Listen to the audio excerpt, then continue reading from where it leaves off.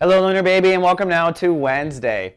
Well, partly cloudy, chance of storms today, Cancer, because Uranus is ruling the day, and for you that means it could come down to a test of faith in yourself. Not the most fun lesson.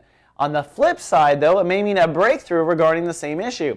First, let's talk about the moon. Your ruling planet today out there with the masses. The moon is in Taurus, putting your heart in a social mood, or at least making you feel vulnerable to public opinion.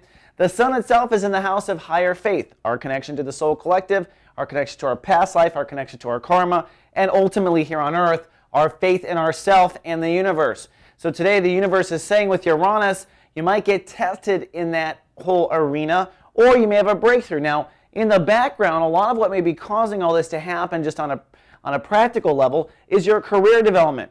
The soul pyramid is pushing forward for cancers to move forward with their career you definitely know what you should do and how to do it. Saturn is saying to you, you know what you're worth and what kind of money you should make. But on the other side of this, in the sixth house, Jupiter and Pluto are moving retrograde. So perhaps the setup or test of faith deals with this.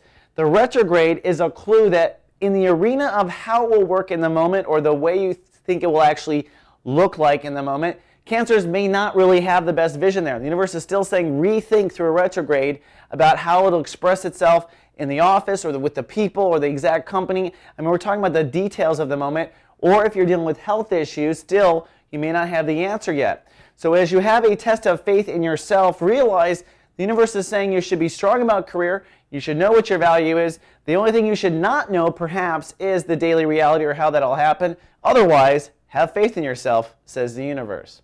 All right, Cancer, that's all we have for Wednesday. See you tomorrow with more soul horoscopes Love Be.